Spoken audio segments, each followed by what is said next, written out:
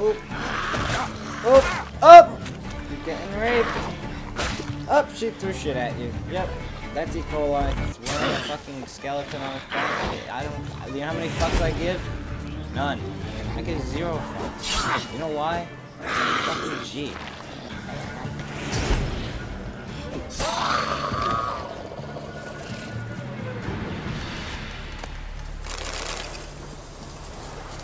monster hunter is paid to kill a gigantic mythical creature for the same reason.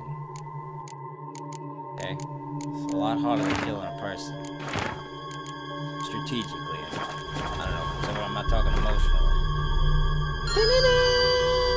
Let's go. Combination. Yeah, I gotta agree with you on that, Geralt. Half the time you read take the words right out of my mouth, except my stupid ass just had to get off the fucking thing because I saw a chest.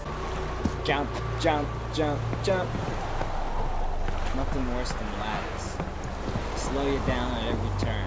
You can't save when there's monsters around. You can't jump when your sword is drawn. So why don't you put the sword away and jump up there? And, just keep on walking and you your position. And luckily you jump back and find where they hit something. You're lucky. You got so lucky. If there was a bunch of harpies attacking you in real life, you would have been shredded to bits.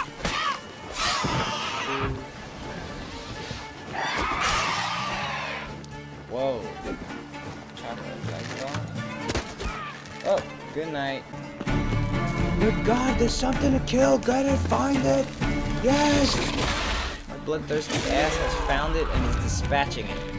Killing insects guarding their territory is something I do on the daily.